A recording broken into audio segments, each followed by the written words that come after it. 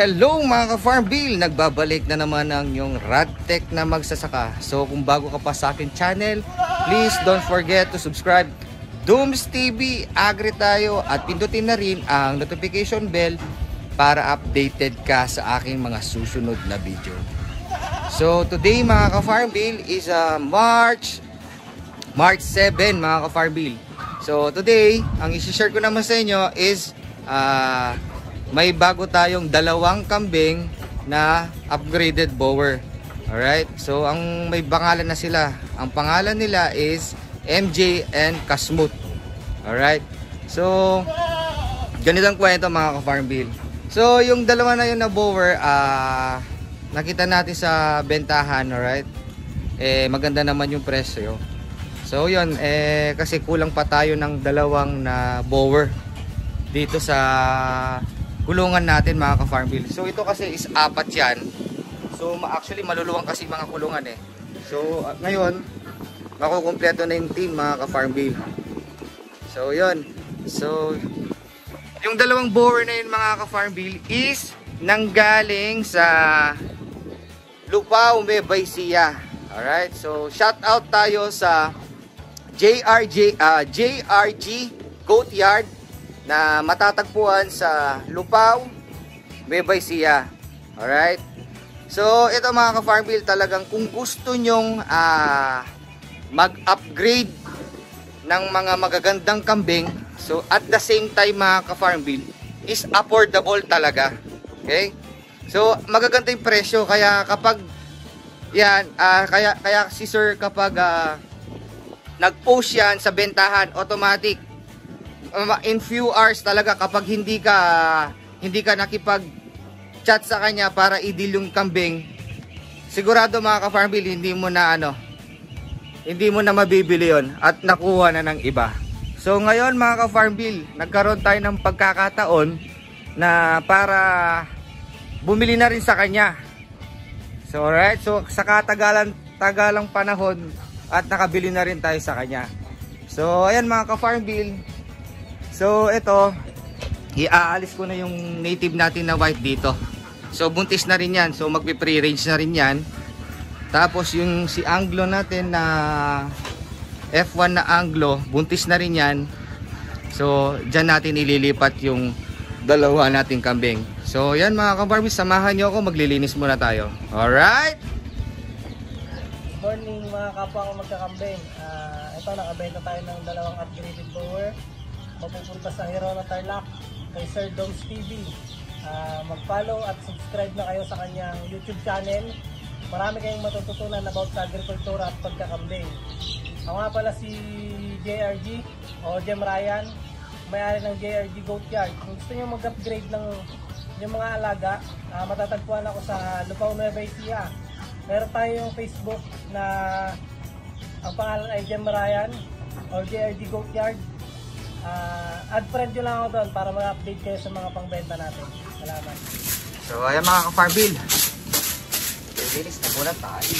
Dang puno.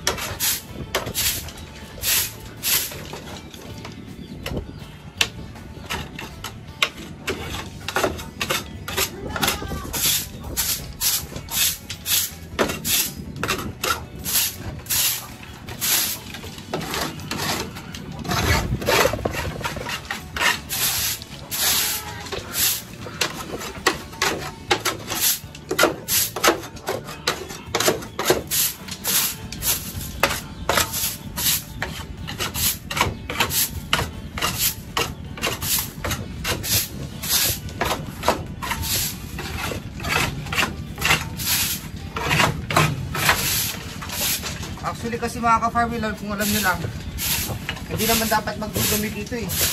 Kaya lang, yung mga manok kasi dito nag-ano, Dito sila tawag doon. Sa Kapampangan kasi tawag doon, mamapon eh. Hindi ko alam sa Tagalog kung anong pangalan yun.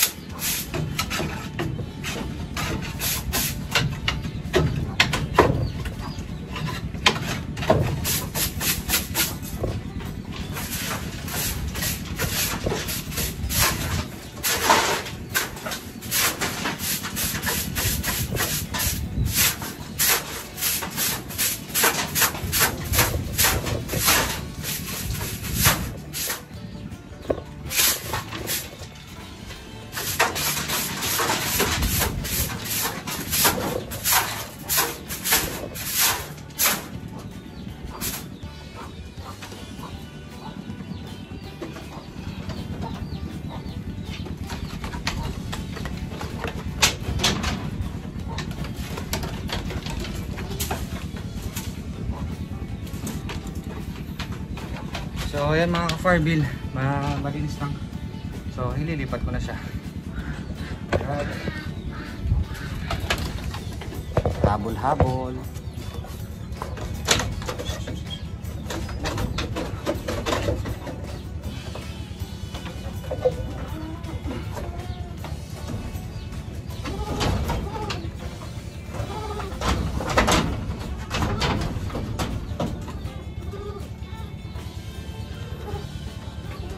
So yun.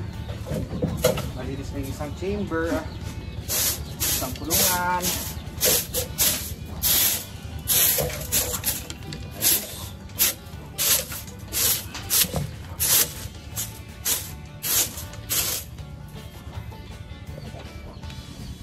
So next, yung puti naman.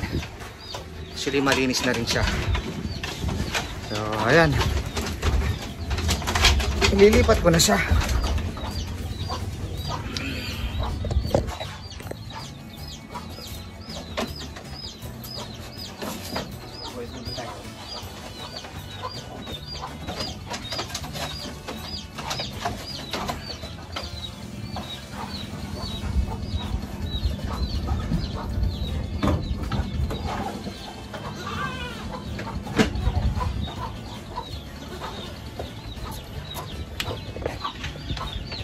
So yan mga ka-farm bill. So malinis na. So ayusin na lang itong ano, kulungan. Okay. So ayan malinis na. Yay! Malapit ng kumpleto yung ating mga kumpleto na yung bower natin. Alright. So ngayon wait na lang natin yung ano yung dalawang kambing. Si Kasmut at saka si MJ. Tapos pwede na natin silang ilagay sa kulungan nila. So ayan, ready na. Yay! Ready ready na. Alright.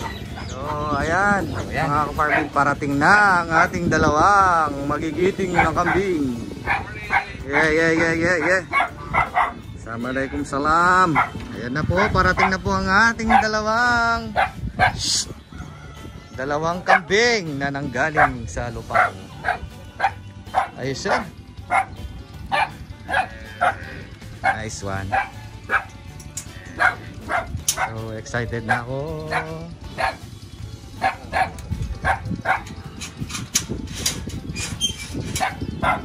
Lalabas na ni Sir.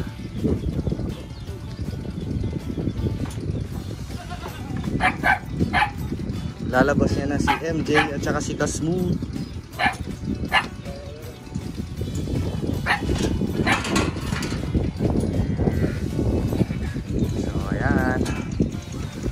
Sabay-sabay na natin i-reveal.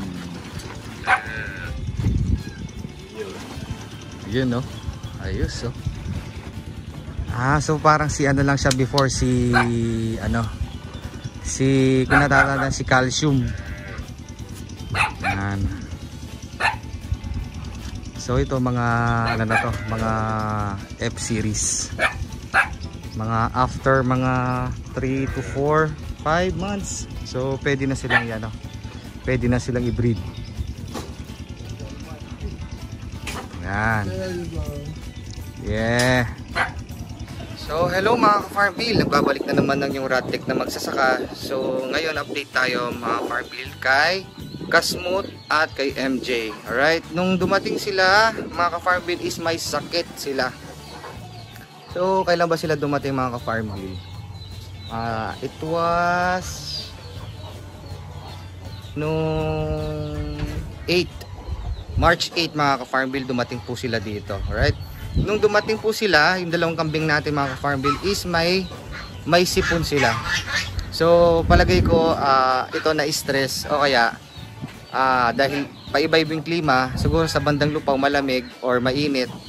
Ngayon dito naman sa amin is malamig talaga. So yun, nagkasupon sila. So ang ginawa natin is trinit natin sila. So ngayon ito yung update natin mga ka-Farmville, okay na okay na sila. So ito si 005, yan po si MJ. Alright? Si MJ. Tapos yung 004, yun po si Kasmut. Alright? So yan mga ka-farm beat. O, okay na mga kambing natin. Wala na. Silang sipon mga ka-farm beat. Okay? Hello. Hello. O, diba mga ka-farm beat? So, ayun mga ka-farm bill. Ayan ha. Welcome sa ating dalawang camping na F-Series. Alright. Kasi hindi pa natin afford na bumili ng ano, ng full blood na doling. So, mag ano muna tayo, mag-upgrade upgrade muna tayo. So, kapag napadami na natin sila, siguro that's the time na pwede na tayong mag full blood. Isa lang yung full blood natin na galing sa sa Star Power, si April. Ang aking Adonis na kambing Alright? Shout out lang. Shout out, Star Power. Alright? And maraming maraming pong salamat. Uh, kasi mga ka-farm bill, nakuha na po natin ang 1,000 subscriber. Yee! So maraming maraming pong salamat sa inyo guys, sa aking mga kaibigan. Sa dalawang hospital na pinapasukan natin, dyan sa Lapas, sa Lapas, uh, Medicare, Community Hospital, maraming maraming salamat. Halos yung mga tao dyan talagang kaibigan natin, halos lahat sila. Dahil maliit lang yung community, yung hospital, halos kakilala natin sila at kaibigan natin sila. Guys, maraming maraming salamat. Alright? So, salamat din uh, sa PMC, Radiology Family, sa sobrang suporta ninyo guys. Sobra. Kanina talagang uh, tawag doon is uh, inabangan natin na mag 1,000 subscriber tayo talaga. So maraming maraming salamat guys. So ang dami-dami nyo dyan. Pero hindi ko na kayo may-mention lahat. Alam niyo yan, mahal na mahal ko kayong lahat. Sa aking pamilya, especially sa aking wifey, salamat mami. Uh, sa aking anak, Ram and Liam, na hindi nanonood sa aking mga vlog. Mas gusto pa yung mga ibang vlog daw kasi yung vlog ko daw is boring. So yon sa aking mga sa mga aking, sa aking tito, mga titas dyan, sa aking mga pinsan, sa aking mga kaibigan, sa mga pages na ating member, right? Member tayo ng mga maraming pages. Maraming maraming pong salamat guys. Sa mga walang sawang nagsusuporta po sa atin, maraming maraming salamat. Ito po ay isang uh, aking na utong na loob sa inyong lahat mga ka-farm bill. So ayan mga ka-farm bill, uh, itong araw na to talagang sobrang saya ko talaga. Alright? Peace, Policeman